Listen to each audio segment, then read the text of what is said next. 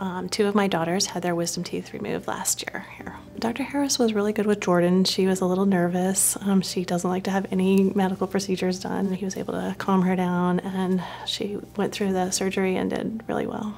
Dr. Brown um, was the one that did Ellison, and he was just very friendly, very thorough, um, made her feel very comfortable. In fact, Ellison, when she was done, she didn't even know she had had the procedure done. The staff is very friendly, very thorough. Um, they asked any questions they are able to answer and really put you at ease and made it, you feel like you know you're going to be safe in their hands. So if any of my friends in Lehi, Manti, or Salem needed to have any dental work done, I would send them to Utah Surgical Arts.